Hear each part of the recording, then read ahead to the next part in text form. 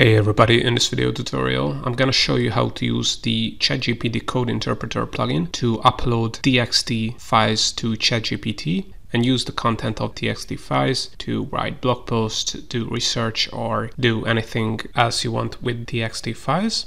So if you want to be able to upload TXT files, you have to have access to ChatGPT Code Interpreter. And to be able to use Code Interpreter, you have to have a ChatGPT Plus subscription. And you also have to make sure that the Code Interpreter features is enabled in your account. I have another tutorial on my YouTube channel that you can check out on how to enable the Code Interpreter. By the way, if you have no idea what this Code Interpreter is, I have a ton of video tutorials on my YouTube channel, but I also have a full article tutorial on my website roihacks.com where I talk about what is the code interpreter, what kind of use cases you can use it for, and I also share some of the best prompts you can use this code interpreter plugin with. And you can also get access to a complete database of all currently available ChatGPT plugins that can be installed from the ChatGPT plugin store. You can search this plugin database by category, plugin name, description, and get quick access to ChatGPT plugin video tutorials, the best use cases and prompts for all available ChatGPT plugins. The database can be downloaded for free, but you can also support the maintenance and the frequent updates of the database with a small donation. Any support is appreciated. You can get access to this database by using the link in the description below.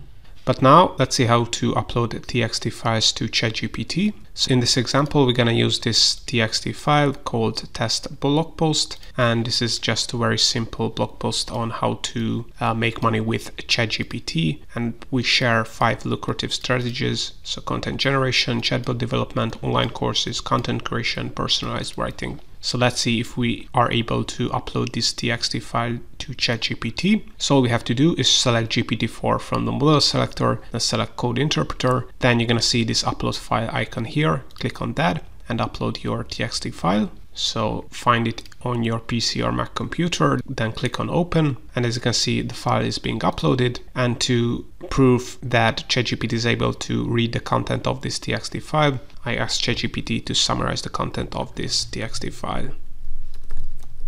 So I added very simple prompt, summarize the content of this txt file, and click on send message. And let's see what ChatGPT will come up with. So as you can see, you don't have to refer to code interpreter. As the code interpreter plugin is enabled, ChatGPT will be able to read the content of the uploaded file using code interpreter. As you can see, if you click on show work here, you can see what kind of Python library was used or function was used to read the content of this website. And as you can see here, we get the summary of this blog post on how to make money with ChatGPT, which was the content of that TXT file.